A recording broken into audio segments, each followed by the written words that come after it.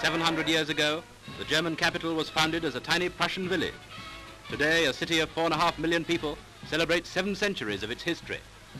Like London, Berlin is formed of a city proper with dozens of small towns which have gradually been absorbed and become districts of Greater Berlin, each with its own traditions and claim to fame. And that shows you how many districts there are.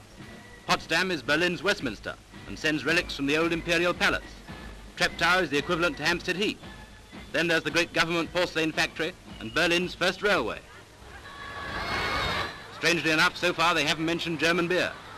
And at the end of the parade comes the army, presenting a pageant of military uniforms from Frederick the Great of Prussia down to modern times.